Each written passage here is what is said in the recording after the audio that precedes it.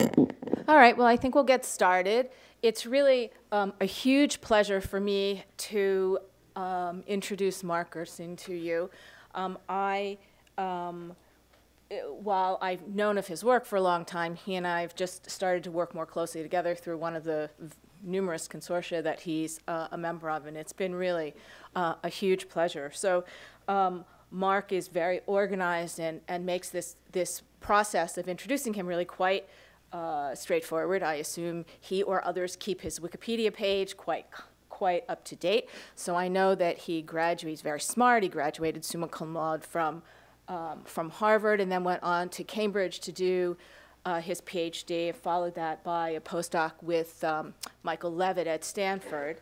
Um, and he's been, at, at least initially, um, you know, his, his uh, PhD and postdoctoral work was devoted more towards understanding protein structure and function. He's, he's like many like many uh, uh, informatics trained people, has moved much more on to thinking about genomes and personal genomes and cancer and epigenetics.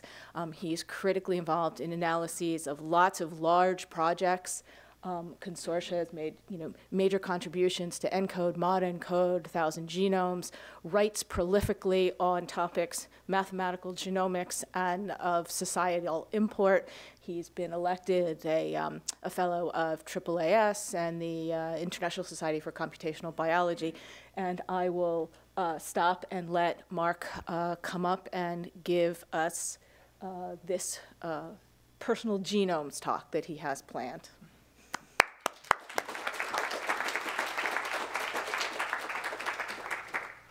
Uh, Thank, thank you. Oops, I have to press the button here, sorry, just a second. Oops. Oh, there we go. I should be, the green light is on. I hope you can hear me now. Hello? Yeah, I think I'm on there.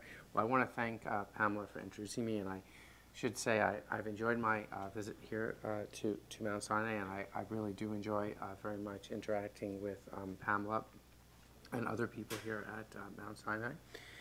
Uh, so today I'm going to uh, talk to you about um, aspects of uh, personal uh, genomics, um, in particular, how one way to kind of think about dealing with all the large amount of data that we're getting uh, from this through prioritizing uh, variants. And so I thought I would just start off by talking about data scale and, um, and so forth. So you've probably all seen this Moore's Law before. This is the famous um, uh, sort of scaling law in the computer industry. This is actually the real clock that the computer industry runs to, quite literally. Uh, this doubling every few years in uh, the number of transistors per chip or the clock speeds. And this, of course, is the thing behind the amazing uh, rise of Silicon Valley and all the amazing things you have with computers and so forth. And this was originally um, coined by um, uh, Gordon Moore, who was one of the original uh, founders of Intel. and uh, you know, I think he realized this, and, and after he realized about this kind of exponential scaling, like I said, the whole industry kind of started to take this into account and really think in terms of um, working in a world with this scaling. Now, um, let me tell you a little bit more about um, Moore's law, because as you'll see in a second, I think this is a, to some degree a paradigm for the world we're in, of course, in the big data world of um, uh, genomics and bioinformatics. So there's a few more things I'd like to say. First of all, Moore's law is very related to another law that was created called Kryder's law, which you probably haven't heard of as much. Uh, but it's a little closer to what we do. It has to do with the uh, exponential increase in the ability to store data. And Kryder was one of the early um, executives at this company called Seagate, which built a lot of disk drives. And so here's a picture of it. It also has an exponential increase. But one thing that's neat about Kryder's law that you can see even better than Moore's law is that actually Kryder's law does, does not come from disk drives getting bigger and bigger and bigger every year, what it comes from is disk drives getting bigger and bigger, but then being superseded by new technology. And so it's, what it is is this kind of um, superposition of many different S-curves. We have many different technologies coming in. So the consumer just sees a monolithic exponential increase, but the people on the inside see one technology superseding another and so forth. And I think um, to some degree, maybe you can sort of see where we're going. This, of course, to some degree is a match for what's going on in our field. Um, so, you know, this is the famous um, Moore's law or exponential increase graph now for sequencing. And this is actually from the NHGRI um, website that tabulates this. And you probably all um, know what I'm going to tell you about now, how we had this uh, great increase in sequencing speed, and then we really shifted to new technologies, and that's, of course, the um, next-gen sequencing. And so, you know, after the genome was done, we have this kind of exponential increase with the current technology up to about 2007, and then, of course, we had this amazing um, advent of next-gen sequencing and the ability to sequence more and more. And essentially, we shifted, you can see, to a new S-curve um, and so forth. And so from the long view, we probably have exponential increase, but there was a couple of years here uh, that it was really quite a wild, wild ride. Um, so what is the, um, this Moore's law in data production and um, also uh, uh, computation, what does it mean for us? Of course, it means that the, we are now in this world, as you all know, of big data. That's, I think, the title of this seminar series actually, um, and you're probably all aware of the gargantuan amounts of data that are starting to be piled up. And so I just kind of graphed that here, but let me tell you a little bit about this. So here's the number of petabases in what's called the sequence read archive. I think one thing that's kind of interesting is the big thing happening of late is not so much the amount of data that's piling up, but it's um, the amount of private data, whereas the original genome sequencing was really about um, open uh, public data. And now more and more you see uh, large amounts of protected data, which really represents a new challenge in terms of access and um, you know, how do we um, have all this uh, data but also still keep it private. And also, just to finish our technological discussion, you can see with the advent of uh, sequencing, you can see the amount of uh, data obviously coming from other technologies like microarrays falling, uh, falling off very much. And so this is a current picture of where we are in the sequencing uh, universe as of now. Um, this actually is from uh, Heidi Sofia and Anish Shirai, who tabulates this. And the kind of um, mega planet in our system of um, sequencing is the TCGA, or the cancer genomics data, which is about uh, two and a half uh, petabytes currently. And then there's some other big data sources like the Thousand Genomes and um, ENCODE and so forth that you've probably all heard about. Uh, what I think is kind of interesting, in addition to the amount of the data and it being in these sources, is how the sequencing data is becoming so big, it's kind of diffusing through um, different fields. So there's, of course, canonical human genome sequencing. We all know about that. But what's also interesting is the amount of sequenced, um, the amount of species being sequenced is rapidly, rapidly going up. So there's this tremendous diversity of sequencing as well as just more and more human genomes. And what I think is also kind of cool is sequencing, because it's becoming so easy and so powerful, is kind of um, diffusing from this core discipline of genomics and genetics outwards. And so you can see that in a kind of neat way in this graph.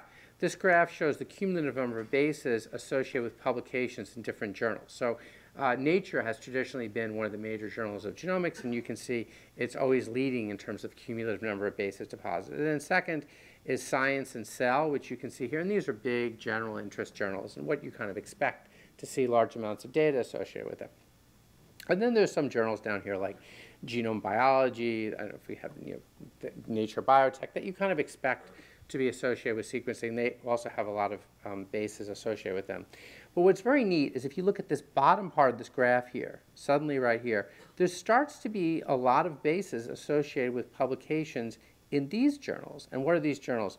Nature Chemical Biology. Um, also the, the International Journal of sort of Systems and Molecular Ecology. And there's, uh, and there's also molecular ecology. And so these are journals that are, are fields that traditionally uh, weren't associated with very large scale sequencing. And now you can see uh, the sequencing technology uh, spreading out into these uh, fields as well. So let's think a little bit more about this um, sort of scaling um, type of thing. So when we were at the kind of beginning of the curve I showed you around 2000 when the genome was sequenced, when you looked at the uh, what went into a sequencing experiment, most of the money that went into a sequencing experiment went into sequencing, as you might expect, because that was the, um, the you know, main thing that you were doing. But what's happening now more and more is when we come to sequencing a new human genome or we come to sequencing something else, very little money is actually going into sequencing. It's, the cost of sequencing is actually dropping down to almost zero per base, right? And instead, the costs are taken up by um, other things, in particular, the procuring of the sample is becoming a, a bigger and bigger cost. So now we're not sequencing a generic human genome, we're sequencing individuals that have very specific diseases or very hard to get at samples. And the other thing that's, of course, taking up more and more of the pie is analysis. Um, and that's, of course, what you're going to hear about a little today. And I should point out that this is a little bit analogous, I think, to the situation in photography or imaging. So when people first started creating um, photographs, of course, the big thing was making the image. You know, the, you know, Daguerre or something in the you know 19th century. And there was everything was making just an image of anything, and of course, you know, um, nowadays imaging is free. You know, you, you can essentially, the average person can essentially take an infinite number of pictures with their phone and the actual imaging itself is free. But of course now what the big thing is how, what you do with the images, how you collect them and also downstream things that you would do with the images. And I think sequencing will kind of, kind of uh, occupy a similar niche in the future. So let's look in detail at some of these things. So if you look at the actual sequencing pie where we are now, you know, you can kind of see, you know, this is sort of how it breaks down um, from equipment and labor and so forth. But what I think is actually particularly interesting is if you look at the, if you break the processing of the sequencing down into two parts. One is kind of the data reduction and data management part, which is kind of this gray bit, and then there's the downstream analysis. What's interesting is concomitant with the um, increase in sequencing uh, capacity, we also have this Moore's law in computing. And so actually, it probably doesn't take that much more kind of computer dollars to process a data set, at least do the simple processing of a data set in um, 2016 as it maybe did in 2000. And also a lot of the technology that we're using for the basic operations like the mapping to the genome and the um, sort of variant calling have been getting faster and faster. And so this kind of shows that picture here for a lot of the programs we use. You can see how they're exponentially, um, they're running exponentially faster. So you maybe, some of the older people here maybe remember the program BLAST, which was used originally for sequence comparison, and then they maybe remember moving to BLAT, and then to things like STAR and BWA. These programs are using different technologies. They're transitioning from using things like dynamic programming to using indexing to using these very sophisticated things like the Burrows-Wheeler transform, and they're going faster and faster. And this just shows that picture now in, with, on a smaller genome. Um, the other thing that you can see is the downstream analysis is taking a bigger and bigger portion of the pie. And what is that really? Well, downstream analysis is people, actually, people thinking you can't automate this yet, uh, though we're trying. Um, and of course, because we need more and more people to do this type of analysis, I think we really see a common increase in the number of roles for people doing uh, bioinformatics and computational biology uh, full-time. So this just shows um, uh, some, uh, a graph from someone's website where they kind of diagram the number of uh, faculty positions in bioinformatics and computational biology over the years. Okay, so that was an introduction where I talked to you a little about the scaling, and then I'm going to talk to you how we can deal, one way of thinking about how we can deal with this large amount of data uh, in terms of prioritizing variants, in terms of uh, looking at a few variants. And then I'm going to talk about some ways that we have of finding features to prioritize variants, um, such as intersecting with, with, annotation, looking at network connectivity, looking at allelic activity, and then kind of combining a lot of these things together in workflows to do um, large-scale burdening um, and to sort of find uh, cancer drivers. And at the end, I want to have a little postscript where I kind of uh, sort of talk a little bit about science of science as we were kind of at the beginning of how the um, this whole you can you can study this whole endeavor. Um, okay, so let's go through um, each of the things now, focusing on the landscape of uh, variants. So let's now uh, drill into the situation of um, a person getting their genome sequenced. And so I think that um, you know it, it's interesting. In the past, I think people came to genomics as a subcorollary of genetics, and genetics was a subcorollary of biology, and so they came to the idea of genomics very late in the discussion. But I actually think in the future it's going to be completely inverted. People will come to genomics before they come to biology. And why do I, what do I mean there? It's because what's going to happen in the future is everyone's going to have their sequence done, particularly if they're sick. And if you're sick, imagine, a scary to say, you have cancer or something, you're going to have your genome done. And you're going to immediately confront all the variants that you have, particularly the variants that are associated with your disease. after you confront the variants that are associated with your disease, you're going to ask the question of what do these mean? What does it mean that I have this alteration, this variant? And that's going to naturally lead you into a discussion of biology. What's going on? Is this a you know, transcription factor binding, site is altered, is the gene being altered, and so forth. And so I think our fundamental relationship in educational terms between genomics and biology is going to get inverted. And so how, how are we going to tell people about how to interpret their genomes in the future? Well, there's sort of two ways of doing it. One way, of course, is in terms of very basic mechanistic biology, but another way is through the database, and that is by taking one person's genome, one person's set of variants, and putting it in the context of the population of all of us here. You know, do you have a variant that is shared with many people? Do you have something rare? What has this been associated with? And of course, genetics has a lot to say about how to think about that uh, process. And let me tell you, just give you a few basic um, things that people would, would say. And this is this is information that's mostly from, that I've gotten from the Thousand Genomes Consortium, which really just published um, a while ago, just a big catalog of variants. So let's just talk about the average person. So the average person, that means everyone in this room basically, has you know, about 4 million um, variants relative to the reference genome in terms of SNPs, and they have maybe 500 to 600,000 indels, and then they have about maybe 2 to 3,000 uh, larger deletions. And one thing that's important to realize is even though that last number is much smaller than the number of SNPs, the, those big variants occupy a very big chunk of genomic uh, real estate. And that's the kind of overall picture. But what's interesting is when you look into your genome, what you'll see is of those 4 million or so variants, maybe one, say maybe 2% of them are fairly rare. That means that you tend to have them and other people don't. And most of them are kind of common variants, okay? And that's very important in terms of thinking about which ones are going to have the bigger impact and which ones might be associated with your disease. Now, when you come to studying a group of people, it's very important to realize that things change very much. Because when you start to look at, say, 1,000 genomes, which has 2,500 people, the number of variants that you're looking at obviously goes up, but you tend to restudy the common variants over and over again. So most of the variants you're actually looking at are rare variants. So when we move, when we move out to population scale sequencing, what we're really looking at all the time is tons and tons of rare variants, because that's what you see when you sequence thousands of people. Now, when we look at a cancer genome, let me just give you a little bit of the numerics of that process.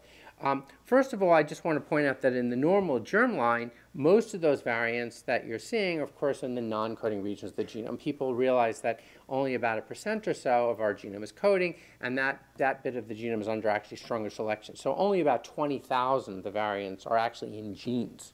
Most of them are non-coding. And that pattern is echoed in an even stronger way in a cancer genome. So the average cancer genome, and this is average, you know, very variable in cancer genome, average number, about 5,000 variants in a cancer genome. Many have more, many have less. And of those 5,000, we only expect maybe 50 to occur within um, genes. And so as you can see, the numbers start to drop really quickly as people kind of home in on what they think is the um, kind of key events. And so one of the, um, the ways that people have of dealing with this uh, tremendous um, number of variants is really to kind of break it into these categories and to really think about them in different ways. I mean, when you deal with kind of common uh, variants that are commonly associated with people, people usually think that they have a fairly weak um, effect, uh, but you can test for that effect over a large number of people because they're um, shared. Rare variants, people have this idea that they usually have a much stronger effect, much greater functional impact, um, but you can't test for them in the same way. And uh, when you think, I, I, think one thing that's quite useful to think about is to think of cancer genomes, are somatic uh, variants, as a kind of extreme of rare variants, right? So these are now uh, variants that are localized not even to an individual, but just to a cell in an individual or something like that. Um, and people often really want to think about which, which of those really have the strong um, impact. And often you can't see them reoccurring in the same region, so you have to kind of think of them as kind of uh, burdening a particular annotation. And in the cancer field, people tend to um, have this idea that the cancer is driven by a very small number of mutations, the driver mutations, that occur in uh, key regions of the genome. And I kind of schematized a little bit of this in this uh, picture here, where you can imagine looking at a bunch of um, individuals uh, here, and here are your um, some representation of all the pooled variants from those people. And so you can see in any one person, there's much more uh, common variants than rare. But when you look at the pool, of course, there's more rare than common. And you can also see that if you look at a common variant, you can probably test for differences between the diseased individuals and the healthy ones, but you can't do that realistically that easily for rare ones, but if you kind of aggregate them together, you can uh, kind of do that. Okay, so that sort of brings me to the point of this talk, you know, how do we um, prioritize variants? How do, and how do we think about these uh, rare variants? How do we prioritize them uh, when it's not as easy to kind of uh, see their effects in the framework of traditional association studies. So first of all, I'm going to talk to you about various features, uh, particularly non-coding features, because that's where most of these variants lie, that really highlight some as um, being very, having a very strong impact. And within the uh, non-coding annotation world, there's sort of two basic uh, things that people do. Um, one thing they do is they look for conserved regions of the genome, okay, and that can be a region conserved within the human population, between human and mouse, or even just blocks repeated in the genome. And they, that, that conserved thing is a type of annotation. And then, of course, there's also the functional genomics um, way of thinking about what's going on in the genome. And here you imagine someone does a noisy experiment over the whole genome that says what the genome is doing. Is it being transcribed? Is it being bound to? What, what's happening? And then the bioinformaticians, we take that noisy signal, as I'll show you, and we process it into little blocks of annotation that sort of talk about this is maybe a binding site, this is maybe a, a transcribed region, and so forth. And so let me sort of take you through a little bit of what that looks like. Here is actually what the data looks like, for instance, for say ChIP-seq peak calling, where you have the noisy signal, and people have some concept of thresholding the signal. Of course, when you look into it in detail, it's a little more complicated than that. There's also statistical issues when they threshold the signal to get these targets. And one of the important things that people have come up with in this process is really thinking about a kind of control experiment, which is in a sense obvious but was a big innovation, where they score against what's called an input control to get enriched targets. And we did this a number of years ago in this framework of this program we developed called PeakSeq, which is very similar to a number of the other uh, very common callers such as MACS or SPP.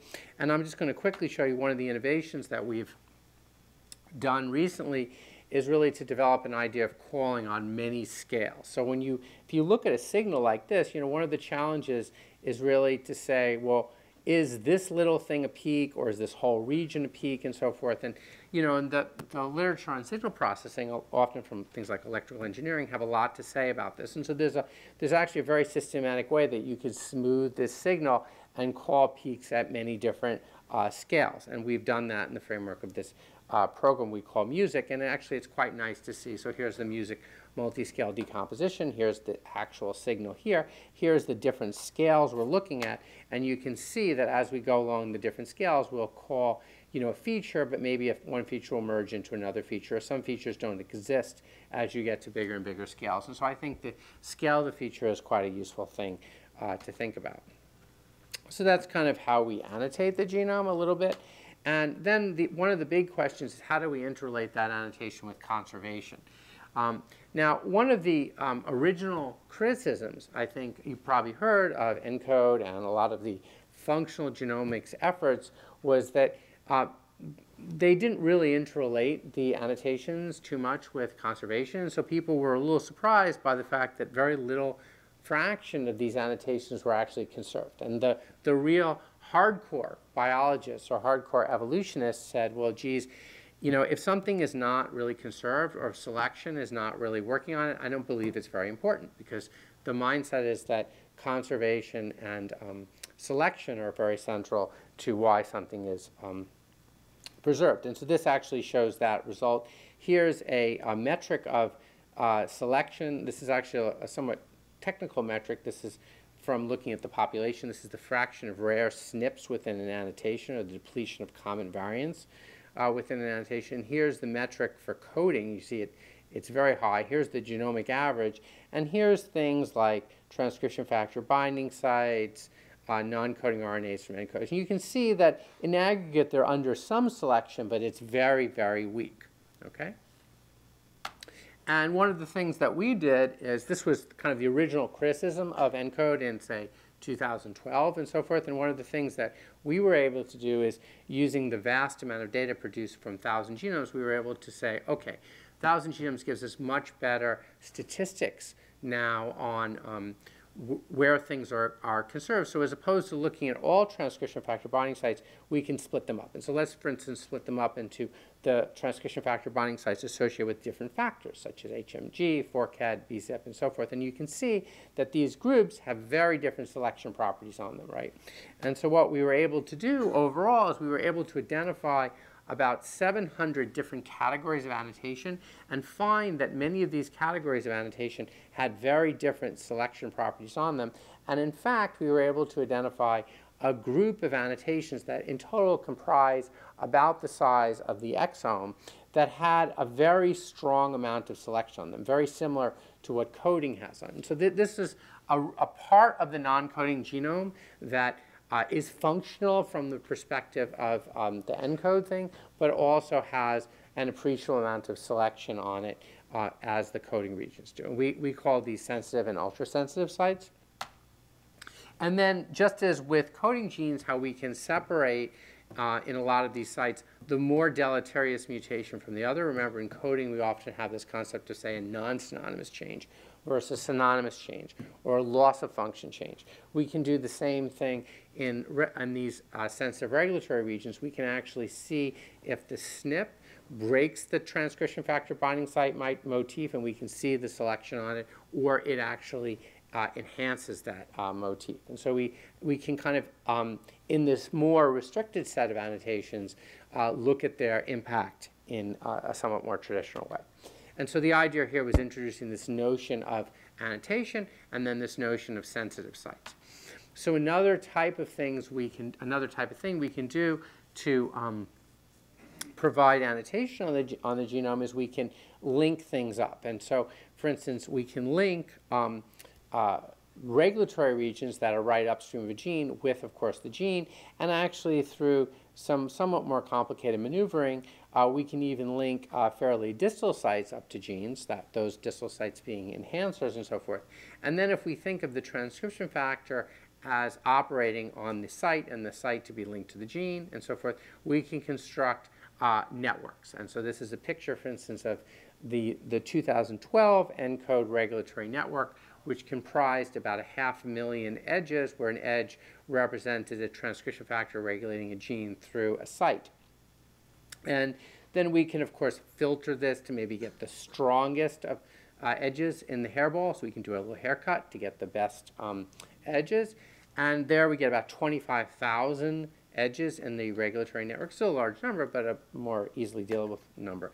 And then one of the things that uh, people have found uh, historically from the analysis of networks, one of the, the laws of network science per se that's emerged is that um, everything isn't equal in the network framework and that almost invariably whenever you look at a biological network or um, something, a, a, natural network, you tend to have the emergence of hubs, things that have high connectivity and those being separated from things that have low connectivity. And they, the usual uh, thing people have observed is the occurrence of a power law distribution, a kind of uh, heavy tail distribution uh, where you have these hubs. And then uh, what people have also observed in many different contexts in biology, looking at model organisms, looking at humans, looking at protein interaction networks, looking at regulatory networks, they've observed that the hubs or the things that have higher connectivity also have higher constraint. That means they're more conserved. And that sort of makes intuitive sense, uh, but it's nice to see. Here's a picture, for instance, that shows the human protein-protein interaction network and the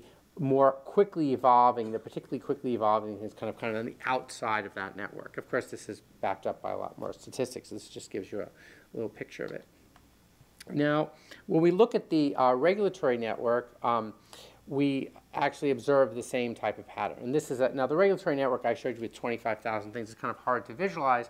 But if I take the tw the 25,000 genes, eh, I'm sorry, the 25,000 edges, and I associate them with genes, and then I associate the genes, into, I make two categories of genes. I make genes that are tolerant of loss of function mutations, which means you can knock them out very easily, and genes which are known to be very essential. You can see, even by eye, that the genes that are kind of more in the center of the network, they tend to be um, more essential. And you can, of course, see this in various statistics that you can do. And so the basic idea is that the hubs in the network are a little bit more essential.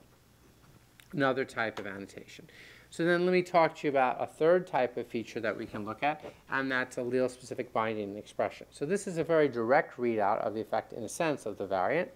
And let me explain what I mean here. So, let, so as you all know, uh, you actually have two copies of a genome within you. You have your mother's genome, or half of your mother's genome and half of your father's genome, okay? And those uh, two genomes actually can have slightly different um, variants on them. So for instance, uh, it might be that in a particular uh, uh, transcription factor binding site in your genome, your uh, father's genome might have a T and your mother's genome, for instance, might have a C. And you can imagine that in certain cases, when it comes to a transcription factor binding there, uh, the transcription factor will bind more easily to the to the your uh, the, the place in your father's genome because it binds more easily with this T. And this could also happen in relation to uh, gene expression. And so people look at these differences called allelic effects, where they'll see the difference between two alleles. And to some degree, and not all the time, but to some degree, you can think of even in a causal sense this binding being better here because it mechanistically works. Now it doesn't, more things are a little more complicated than what I said because the binding at a particular spot can be associated with lots of things happening upstream and the chromatin and so on and so forth. But on a simple-minded picture, I think it's, it's reasonable to, to think of what I just said. So you, now one of the really nice things about next-gen sequencing is you actually get, when you do an RNA-seq or ChIP-seq experiment, you get a perfect allele experiment just right there. And that's because each of the reads that you uh, sequence actually has the sequence of the underlying uh, thing that's being bound to or being, uh, being transcribed. It's a tag for it. So if there's a heterozygous SNP at a particular position, you'll be able to see, for instance here, that there's more reads associated with the T allele than the C allele. Okay, and then you can actually read that out. Now then, of course, you come to actually doing, there's a lot of statistics behind this that I'm not getting into. You actually have to compare this to kind of what you expect, and then there's all these weird confounding effects such as uh, reference bias and so forth. But the bottom line is you can make these calls for what's called allele-specific uh, heterozygous SNPs. And these are SNPs that, to a first approximation, you can think of as when there's a SNP there, it actually affects some um, activity. And so we've done this in detail, in particular in the framework of Thousand Genomes, building many personal genomes, uh, you know, uh, aligning the RNA-seq and ChIP-seq reads to uh, hundreds of them, and then making a little bit of a database of the, um, all the variants. And let me show you what you get when you get this, make this little database. Um, so you can kind of imagine looking through uh, the genome, and here's, here's places in the genome, different annotations, and so forth. And then you can think of these being different individuals. And in some individuals, you might have an allelic SNP. In other individuals, there might not be. Or maybe then sometimes there's a SNP. Uh, in many individuals, that's always uh, allelic. And let me just uh, zoom in on these uh, regions here. So for instance, in this region here, you have a lot of allelic SNPs. Many of them are at the same uh, position. Okay, And in here, this is more of an instance where you have rare variants. Most of these people don't have the variants, but the few variants are allelic. And so you can use these patterning of allelic SNPs to provide some sort of annotation for that region being very associated with allelic activity, or you can provide, it provides some annotation uh, for rare variants having some um, effect. And remember also the rare variants are not able to be uh, studied through the traditional uh, EQTL or association, association type of approaches. And so we've done this. We've um, collected all these ASE and ASB variants into little regions, and we've made kind of highly allelic regions and highly non-allelic regions of the genome. And this is another type of annotation. And when we look at these annotations, we find, you know, some interesting things on a high level. We find that in general, enhancers for some reason seem to be depleted in allelic activity. Um, but there's certain transcription factors, which I think are, we, oh, you can see the names here, which tend to be a little bit uh, enhanced in it and so forth. Uh, and in general, a little bit less activity uh, at UTRs in terms of um. But these are very high level, and I think it's more useful to think about a specific um, uh, annotation block.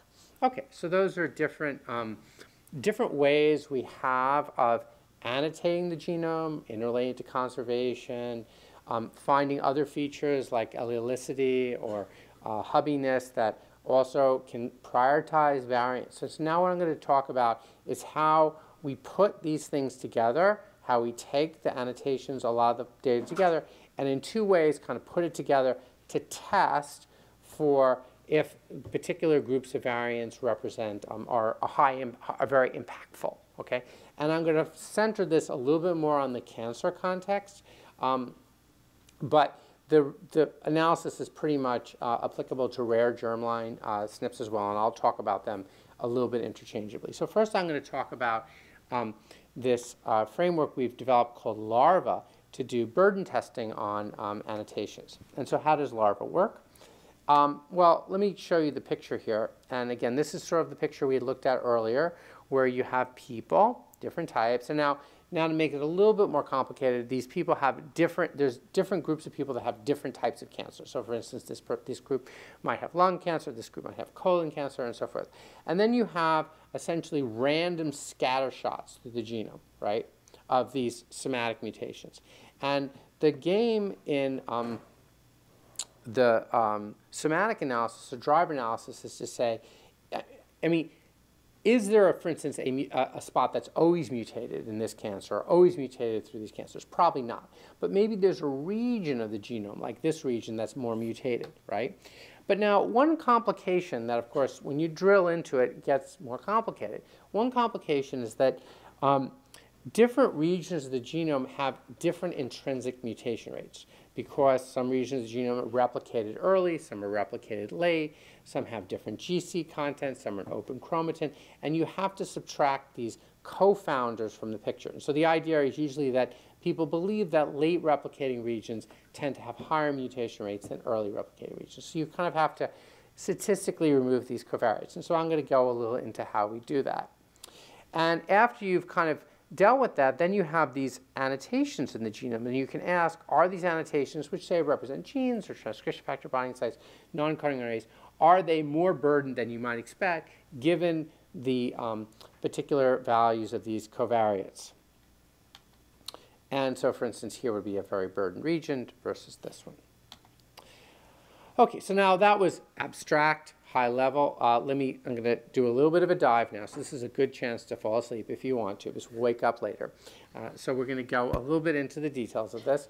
So here's actually what it looks like if you were looking at um, cancer genomes. So you can see the tremendous mutational heterogeneity in cancer genomes. And so for instance, this is a log scale. Here's many different um, types of cancer you see which change very much in mutation. And then within the cancer, each dot represents different people. So you can see that if you're, say, looking at breast cancer, you're looking over four logs of variance in you know, mutation rates. So there's tremendous heterogeneity there. And then if you look across the genome, just in general, you'll see a, a tremendous heterogeneity in the amount of mutations. So we, we have to deal with this heterogeneity.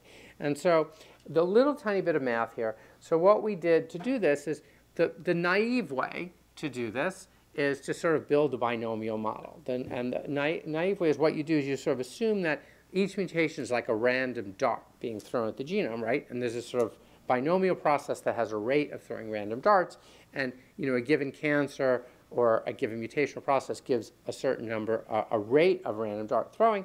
And then you want to see in a given region if you have more random darts than you might expect given this binomial process. And that's the kind of simplest approach is sort of a global model. But now we can make it a little bit more complicated. So the, the simpler thing that you might do is we might say, oh, this mutation rate that we're observing, P, this mutation rate actually varies. It's not P, it's PI. It varies across the genome, okay? And now we can make that uh, mutational rate uh, vary according to a particular probability distribution. And for convenience, one distribution to use, and it's nice to use is the beta distribution. And the reason that it's very nice to do that is that you'll end up with this kind of beta binomial uh, model when you're finished. And in particular, a third thing you can do is you can actually make the mutational rate in this beta distribution, or the parameter, the hyperparameters in the beta distribution, um, depend on known covariates, such as the replication timing, the GC content, and so forth. And so we can make a kind of, these are different levels of model. You know, this is, like I said, some people are sleeping, some are wide awake, staring at the screen. You never know. Some people might be closet math fiends. You never know. Um, but in any case, that, that's, that's what our, we have these different models. And you know, you might say to yourself, well, I don't care, um, but they make a very big difference. They make a gargantuan difference. And this picture just kind of shows the difference. The black line is the empirical distribution of mutation counts in different bins. You know, some bins have, have sort of about 20, and then some are highly burdened. And if you make a um, beta binomial model, I'm sorry, if you make a binomial model, you'll get this red line, and you'll see you'll call a gargantuan fraction of the genome uh, as being highly mutated. But that's just wrong because the, the mutation counts are highly overdispersed. And so if you make the little beta binomial model that we described, you'll get a much better fit, particularly at this tail, which is the tail, of course, is you're trying to see something that's mutated more than you would expect based on a normal uh, random mutational processes. And uh, this is a picture. Now, this is a little uh, technical. This just shows that um, if you split your um, bins that you're looking at into early replication timing, late replication timing bins, you'll actually, um, you'll, the correction makes a tremendous difference in the bottom 10% of the uh, replication timing bins versus the uh, top 10%. So that's really where it makes a big difference. And we, of course, have a, a software that does this. Our software is called Larva. You can download it in what's called a Docker image and so forth, and you know you can do all sorts of things with it. Uh, now, one of the th what is it? What does larva do? Well, larva goes to the genome and scores the regions as being significantly mutated relative to this somewhat more sophisticated background model. And so what it does is it prevents uh, what's called p-value inflation. And so here's a picture of the p-values from um, uh, larva. And here's the p-values that you get from the binomial. You can see the big inflation here, and the larva ones are much closer to the line. And here's a picture of almost like a Manhattan plot showing the, uh, the p-values and the big inflation for the binomial. And then here's the type of regions that are pulled out. You, maybe you recognize some of the well-known ones like the TERT uh, promoter, the TP53 promoter. These are very well-known uh, cancer regions, but there's some a few other things pulled out uh, by this program as well. Okay, so that's this uh, burden testing taking into account the um, genomic features and um, the annotation. And now a little bit on evidence integration. So we focused um, mostly up to now on one, only a few types of um, evidence, but we've talked about many things. You know, we've talked about allelicity, hubbiness, annotations, um, breaking sites and so forth. And so you can kind of imagine maybe there's some way of putting all of those things together into an overall functional impact score. And so a number of years ago, we developed a conceptual framework for building this uh, score, it's a very simple idea. The idea basically is if you start off with a bunch of, let's start off with somatic mutations. You could also imagine these as rare germline mutations, same thing. And you wanted to see how impactful they were and you wanted to prioritize them. Well, what would you do? You would first see, you would first say give a point to those things that lie in annotation, okay? And then you maybe would give another point to them if they lie in annotation and that annotation is in that little group of annotations that I talked about earlier that's sensitive or ultra sensitive and particularly conserved in terms of normal variation. And then you'd maybe give another point if you could see that the mutation has an obvious functional impact, say breaking a motif or changing a transcription factor binding site. And then you maybe give another point if you know that that um, transcription factor binding site was actually a promoter that sits in the center of a regulatory network hub, right? It's somehow more important. And then, then you could go on and pass it into the um, recurrence analysis, say, from the um, larva. So that's the conceptual scheme, okay? And uh, a number of years ago, we uh, figured out how to make, do this conceptual scheme in practice on a cancer genome. And so, for instance, this is from one of the original prostate cancer genomes sequenced by Berger et al. in 2011. The, this particular genome I'm looking at here had about 2,000 SNVs. And you know, you can kind of walk, you know, just for simplicity, you can do what I just did, but walk through a flow chart. Is it an ultra-sensitive region? Is it in the hub and so forth? And the neat thing here is when you walk through this process, at the end, you get like one mutation. And the nice thing about that is if you get one mutation, you go from the world of big data to the world of kind of traditional laboratory testing, and someone can actually figure out if that real if that is doing anything or not. And you can't do that for 10,000 mutations and so forth. And so someone so you can actually do uh, some validations on this, and we did, um, or not we, but in collaboration with others, we did validations on this, and they, these mutations were more impactful.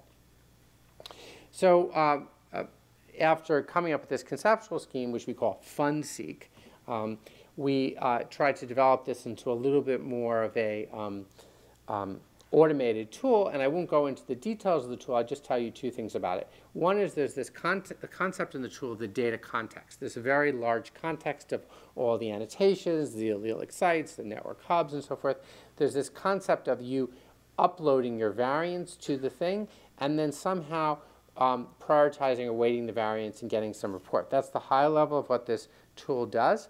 And one of the key things that the tool does is it has a, a notion of how it weights all the different genomic features relative to each other. And I won't go into a lot of detail on how it um, does the weighting, but it has this entropy-based weighting scheme where basically it weights an annotation or a feature in accord to how many natural, natural polymorphisms, not um, somatic polymorphisms or rare mutations, that you get in that, or say natural common polymorphisms you get in that uh, feature. And so, for instance, a feature that, um, for instance, these uh, dark features here, they get few uh, polymorphisms relative to the side, they get very highly weighted and so forth. And this is the, so it's a sort of entropy-based, um, people probably recognize the p log p type of formula as being associated with um, a sort of information theoretic entropy. So we essentially weight everything in relation to this uh, information theoretic entropy, and we think we get an, a fair weighting of all the different features. And then, of course, we can um, do different um, uh, types of validation uh, for this uh, type of thing. Here we show a validation based on um, uh, germline, um, uh, rare germline SNPs where there's databases such as HGMD and ClinVar that tabulate um, known disease-causing mutations. And we can see that these things get higher, more impactful scores on average than, say, um, random mutations. And of course, how you select those random mutations is actually a somewhat complicated issue. So there's different ways of matching it. And you can see this in terms of one of these violin plots, or you can see it in terms of more of a predictive type of context with ROC plots. Okay, so now I think I'd like to summarize. So we've talked, uh, so hopefully a, a, lot of the room remains awake. Um, so uh, we've, let me summarize what I've kind of talked to you about, and then I'm going to have this little bit of postscript at the end. Um, so what I've uh, told you about today is I started off by telling you about the notion of more and more data, you know, big data. Um, you know, and how the big data we have, how it, we can think about it in terms of scaling. The scaling is very important when you think of the production of data, when you think of the analysis data, and you think about this exponential scaling. And then I talked a little bit about one of the key ways we have of grappling with this uh, large amount of data is through prioritization and selecting from millions and literally billions of variants a few variants that we think of as highly impactful. And I talked about how do we go of finding these variants that are highly impactful, different ideas. And you know, one of the ideas is to focus on these rarer variants as opposed to the more uh, common ones. And I talked about ways we can um, annotate these as being impactful, obviously how they relate to non-coding annotation, how they relate to, to annotation that's in conserved areas of the genome, how they relate to network hubs, and then how they relate to elements that we know are allelic. That means that we know have differential activity um, between uh, when there's a variant between the maternal and paternal genomes. And then I talked a little bit about how we can put all of these features and how these things, how we can put them together. And, and we sort of talked about two ways. One um, way is this kind of burden test idea, where we have this larva idea where we basically see in a genomic region, do we have more variance than we'd expect relative to some model? And I tried to explain that the model can't be a really simplistic model like a binomial model. We really have to incorporate the idea of many different genomic covariates that take into account many different underlying random genomic processes, uh, such as uh, the replication timing. And then I talked about a second tool, and this is this FunSeq tool, which really uh, is about how we, in a principal way, integrate many of these different evidence sources. And we have this kind of entropy-based uh, weighting scheme. And the entropy-based weighting scheme allows us to kind of score uh, the variance in a principal way, and we can, we can find that known disease-causing variants uh, do get higher scores. And so that's the overall picture we have of, you know, how we can go from a large amount of data to kind of prioritize things to get at these um, more impactful mutations, which hopefully can be tested and which are useful for a more medical context. And now I want to kind of grow out. I started out with this kind of very big picture of data and the world of sequencing, and I want to talk a little bit about just a tiny kind of postscript of we can also study how we do science itself, right? And so a lot of this science actually doesn't take place um, uh, in individual laboratories. It, take it takes place in the framework of large groups and large consortia. And you can actually study these entities themselves as objects, and, um, which I find kind of interesting. Um, and so, for instance, a lot of the work I described today took place in the framework of these uh, consortia, such as the ENCODE project, which had a pilot phase, a production phase, a model organism pilot, and then a final phase where there was a kind of comparative phase, or the Thousand Genomes project, which had different phases, and now there's some follow-ons, uh, such as the GTEx project and so forth. And so we can kind of think about how, how do these um, organizations work. And I just wanted to point out that more and more we see a kind of increase in the amount of the fraction of our um, scientific effort uh, associated with these, um, with consortium science. And so one thing uh, we were able to do by taking a look at the ENCODE consortium and through the help of NHGRI, we were able to identify uh, the many members of this consortium and many um, people who are outside the consortium that were using um, the information from the consortium. And we were able to look at their uh, interrelationships and their publication patterns. And so overall, uh, we looked at about 1,200 uh, different papers that were published uh, with about um, 10,000 different um, individuals, some of them within ENCODE and some without. And we tried to ask how were these um, people and the papers that they produced uh, working together. And so one of the things that you can see is you can see that the uh, people within the consortium uh, were obviously producing uh, a lot of uh, papers fairly early on, and obviously in the later phases you start to see uh, more people from outside using the data from the consortium, as probably makes sense. What's not as intuitive is if you kind of graph the histogram of the size of these papers, it's at, you might think, oh, the people in the consortium publishing very big, big papers, the people outside not very little differences in the size of the paper. So a lot of the interaction of these people outside with the people inside represent different big groups of people kind of interacting with each other. And then you can do a kind of um, network uh, view of this uh, type of data where you can uh, plot for each year uh, from the inception of the consortium all the way until uh, the um, current time uh, the the, all the papers published, and each paper represent it, that's published represents uh, authors working together, where the linkage is the, here each node represents a person. They're linked together if they co-publish, and you can see in the way this graph is sort of set out, it kind of creates these kind of concentric ring structures where you have um, this group of members that closely publish together. You have the group of people colored in red that are non-members, and then you have this group that I'm going to talk about in a second that I call um, brokers that sit in the middle of these two, uh, two groups. And so you can see this nice increase and you can see the formation of these uh, ring-like structures. Now, the way you get to that intuitive picture is through analyzing a little bit of the statistics of these graphs that we're looking at. And there's some important statistics that you can look at you can look at the, just the number of clusters in each of those graphs, the number of kind of disjoint clusters. And as you might imagine, the number of clusters in the ENCODE group is fairly, is fairly consistent because they're all the people are kind of together. They're always publishing together in this group, and it's fairly uniform over a number of years. Whereas the number of clusters of the non-members goes up fairly dramatically. So many disparate, different groups of people using the thing. And if there's some notion of it comparing this to some random expectation. But then what you can also do is you can compute a number called the modularity. And the modularity describes how, um, how truly um, disjoint your clusters are. So if you have a very modular graph, it really does break into disjoint clusters, whereas one that's not doesn't.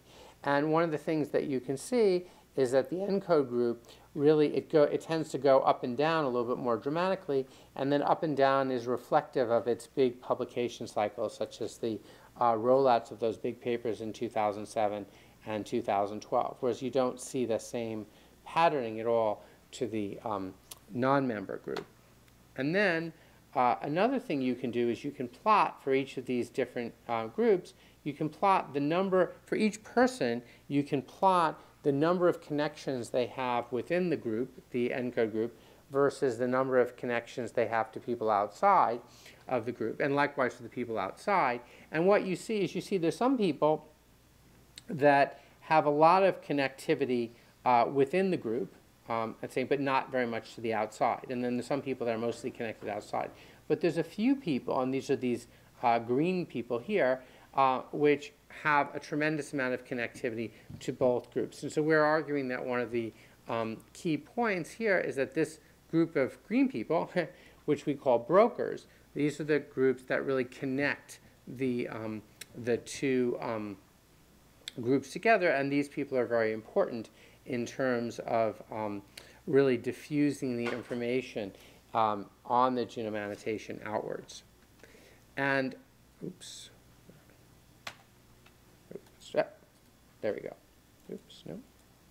Uh, and then I'll just say we've repeated this analysis on an, a related consortium that is somewhat independent called the MOD consortium, and you get a very similar uh, picture.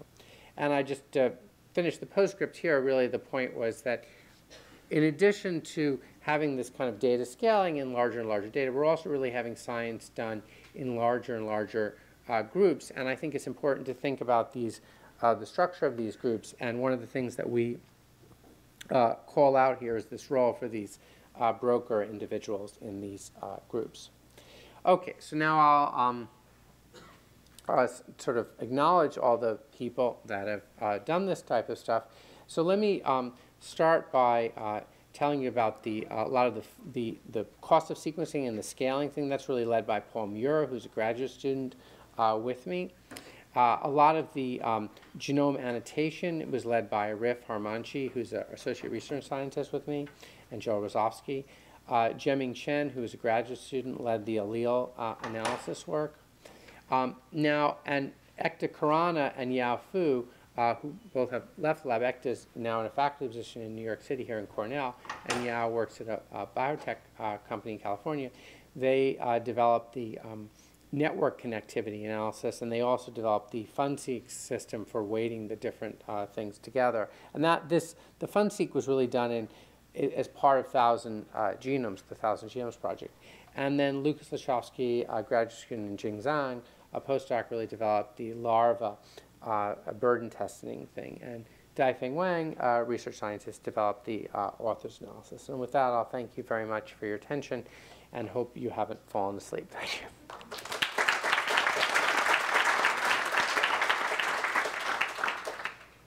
Thank you. That was fabulous. So let's let's take some questions and please um, use the microphones and maybe we'll wait a minute until the, those who can bear to tear themselves away from the question period leave the room.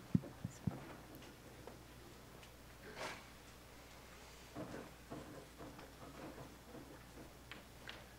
Most of the people getting up are going out. That's okay. No, no, look, there, there are lots of people. Um, and, um, and, I, and I suppose I'll, I'll do the usual, take, take the pro- my prerogative and ask the first question. And so, um, uh, to a more naive person like myself, there are many ways that you can think about annotating the genome and deciding what variants are important. And it's really critical for all sort of all kinds of work.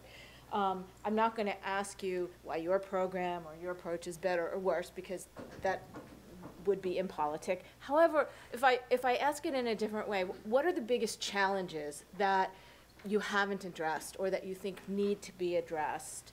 Um, and and if you were thinking about also applying it to say common variation, um, where it seems to me we also have the same issues and the same desires, how would you how would you do that, or how, you know, um, because not all not all while some rare variants are wonderful, you know, there are lots of there are PCSK9s, they may not there may not be as many of them as people think, and we may actually want to be able to work on common variants. Sorry. Well, I think, I think the, the, it's a, it's a very good question. So the, the common rare variants it, it doesn't immediately strike people as that big of a difference, like you have a certain amount of variance in your genome, what's the difference between the common and rare variants? But they're really very different in, in, in when you really think about them kind of analytically. And the, the reason is that in common variants, um, first of all, you have this problem much of LD that you don't really have as much with um, rare variants. And the, uh, and the LD problem is a whole different problem. It has to do with the fact that,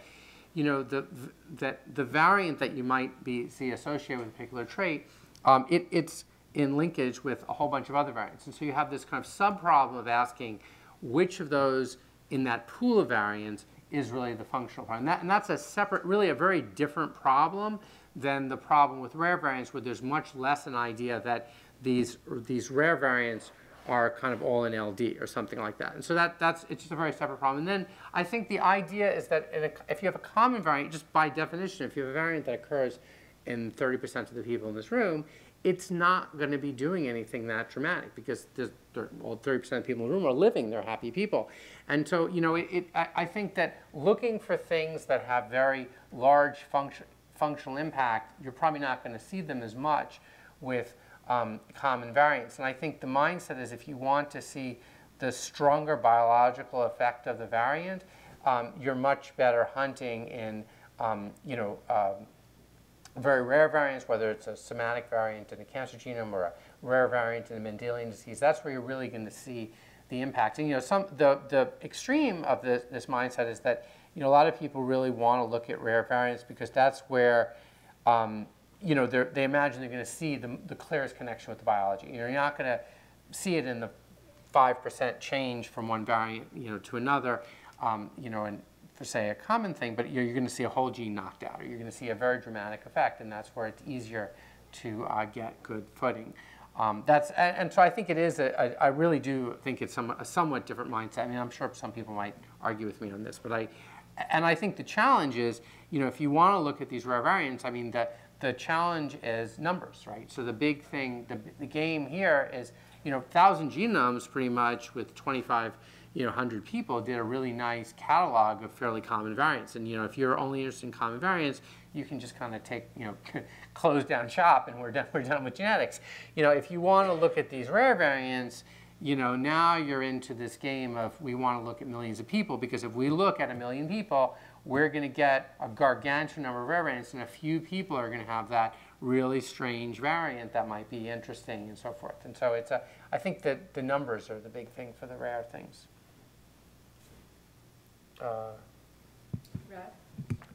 Thank you. Uh, is this on?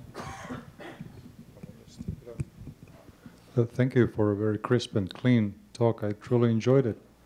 I was um, particularly interested in the FunSeq that you have mentioned.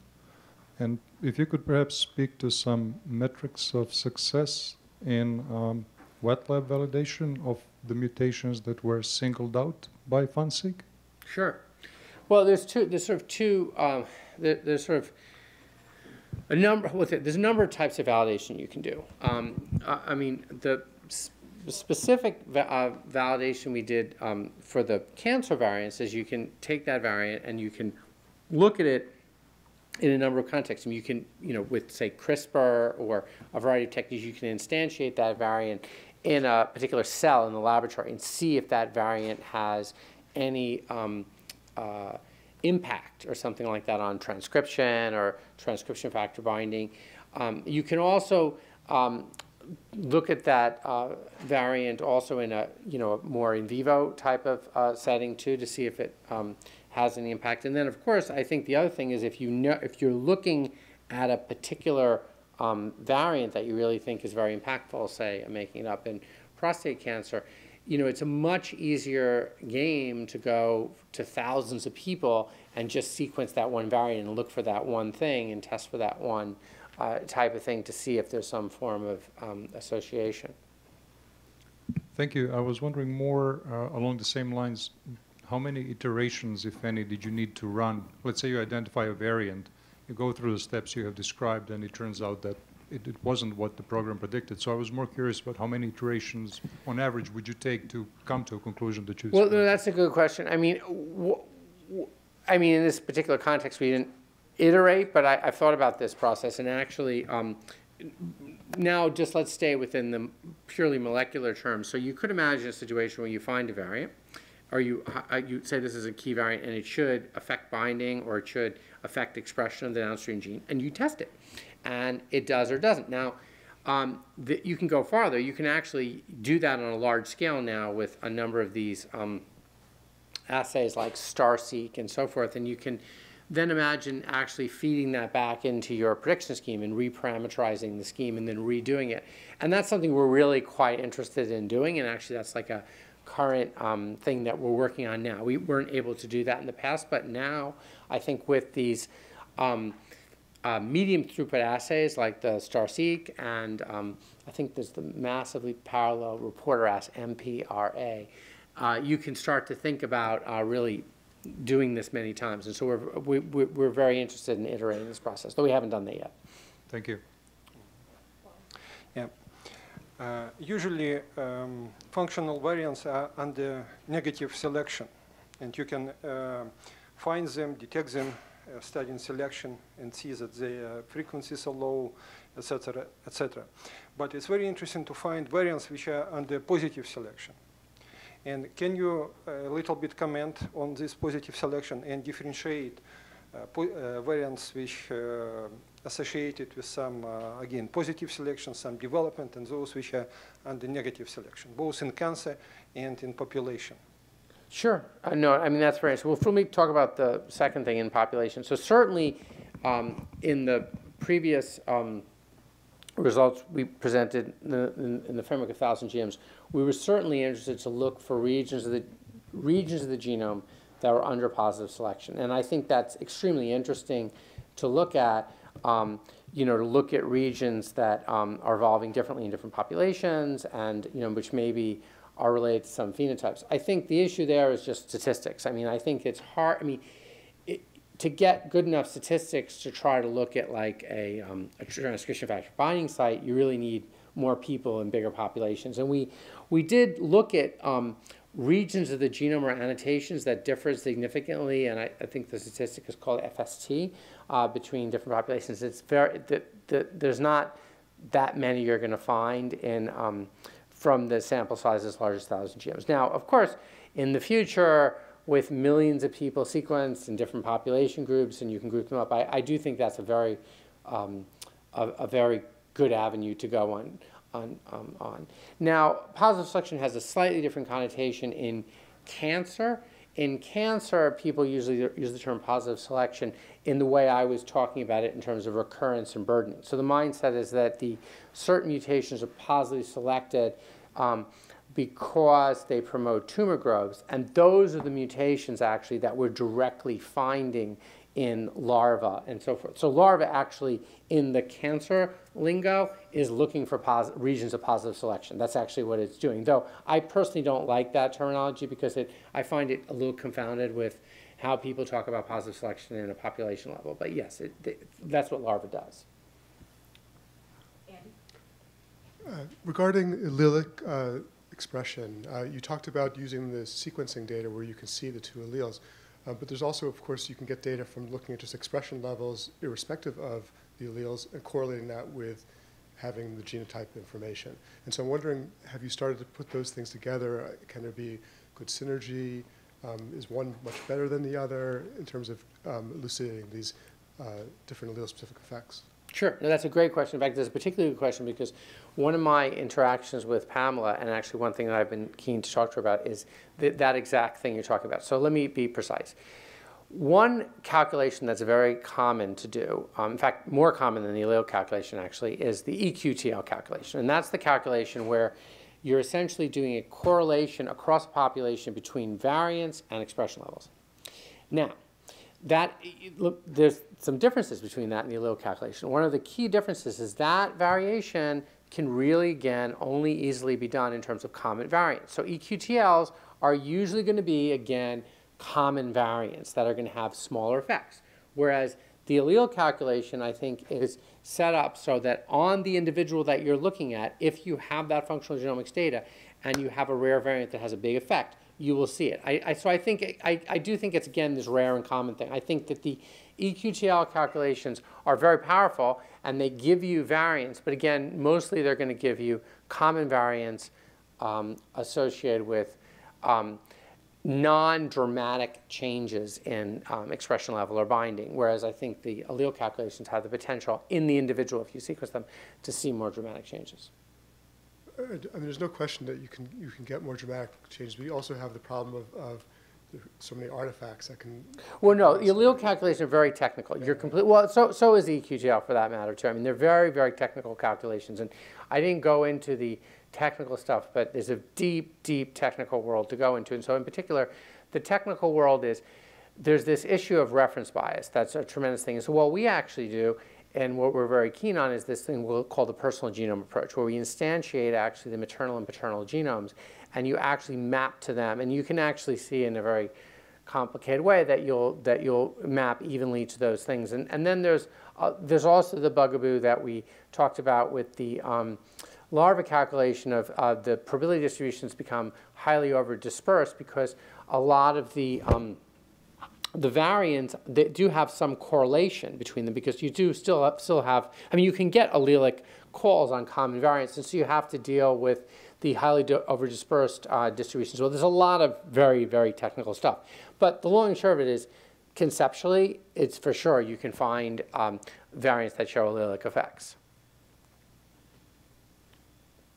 Are there any other questions? Oh, Go ahead, Andrew. So um, this is, I think, maybe not a very complicated question, but um, have you, have you, did you say have you done work trying to extend FunSeq to cancer genomes? And I mean, in general, the problem of going from a practically uh, in a longitudinal monitoring of a cancer genome population, which I tend to try and model like an infectious disease, you've got a background of inherited mutations. Um, and then you've got somatic mutations that are benign, and then somatic mutations that respond in stress over time. So, have you thought a little bit about just integrative modeling of all of those? Um, Sure. Well, I mean, I think the cancer genome context is, is you know, a lot of people find it, it of course, cancer is a very, very nasty disease, obviously. But it is, from a, a modeling perspective, very interesting to people because it, um, there's this notion of evolution, and it's, which is, I think you're getting, you've got this uh, germline genome that you're given. And the germline genome certainly um, can set you up in different ways depending on the variant you have towards um, towards cancer. And then you have the the evolution process of the tumor, right? And you have this mindset that in that process, uh, you have random mutations. You have random mutations that are caused by biased processes, such for instance, if you have a messed up mismatch repair enzyme that will bias you to certain types of, and then you have driving mutations that are actually deranging the whole process. And you know how those all come together is actually um, uh, interesting, and and people are very interested in this. I'm certainly interested in this. I mean, Fun- FunSeq. Um, doesn't take so much a temporal perspective, but definitely a lot of the cancer analysis now, you know, if you have these samples, is taking that process. I mean, obviously, if you looked at the, if you looked at the evolution of a cancer, you'd have a lot of keys right there for in terms of what um, is driving the cancer versus what's kind of being carried along as a passenger. Right, so I'm, I'm trying to argue a little bit by analogy for some of the infectious disease work we've done, where if you look at, so if your question, for instance, is evolution of antibiotic resistance or virulence or whatever, in theory, all you need to do is get, you know, the change from time A to time B. Um, and certainly a lot of the clinical testing that's being done in cancer is basically, uh, if, your, if your goal is to try and manage cancer therapy, is, you know, monitoring key mutations uh, over time and trying to manage it just like an antibiotic stewardship program, essentially. Um, but at the same time, um, trying to actually understand the mechanism by which a given phenotype evolves has a lot to do with the existing prior state. Uh, and I'm not aware of a whole lot of very systematic work in trying to go from, okay, here we have an assembled genome, uh, cancer genome, bacterial genome, whatever it is, to making some predictions about first what its phenotype is now, and then what its trajectory would be to a more pathogenic phenotype, to couple with the data that people are starting to get clinically, which is the okay, we're monitoring something, a very, num- very small number of things longitudinally over time, looking at the ones we think are important, but ignoring the rest. Well, that's certainly an interesting question. I mean, I personally, I haven't worked on that exact question, but I do think there, there is a community of people that is, um, does work on cancer genome evolution. And they do think about things certainly like what you're talking about, you know, the sort of state you're in. Now, the other thing that makes cancer a little bit more different from infectious disease is there's this mindset of um, at any given time, you have different mutational processes. So like for instance, there's a mutational process that's operating my genome now, but if you screw my genome up, it will change the mutational process. And so that, so, so watching that mutational process change and the random mutations arising from the change mutational process is actually quite interesting. And I, I think people are very interested in, you know, how drugs are going to impact on this and, you know, recurrence and um, resistance. And, you know, I, I think it's a very ripe area that, you know, there's a lot of interest in. Um, So I mean, the reason I asked a few of those specifically, I mean, to the extent that you're doing a better job than average uh, in terms of trying to understand the nature of a genome at ground state, uh, and the interesting question of how well you can predict where it is likely to go or how it could go, which is sort of an inherited cancer susceptibility thing, or how the actual cancer might evolve, is it's an interesting question, right? And trying to trying to actually figure out how to couple the best prediction for what we have is to, you know, a damaged or non-damaged genome up front is that's something that I think. is- Sure. Well, I mean, just just to finish this question, but I'll just say that I mean, I, I'm very interested. I mean, the I mean the the fantasy that people have. I mean, I don't know. Maybe people in this some people in this room are working on this fantasy, or the fantasy, of course, is that you know you're gonna we're gonna be when a person comes in for cancer, we're not going to sequence their genome once. We're going to sequence it just constantly throughout their therapy, and we'll we'll see, you know, the emergence of resistance. You know, what I'm saying we'll see new subclones that appear that have different mutational patterns, and then the idea would be that you would, you know, pick out a drug, you know, for those things, and you know, sort of target them right there. That's of course the fantasy. I mean, I, I think it, it I mean it, it does make some sense, and people are definitely interested in that. Probably pick out four drugs to make sure that you actually can, because it takes three to block HIV, right? It's a smaller genome, so. uh, Four. Four or five, something like that. All right, well, thank you.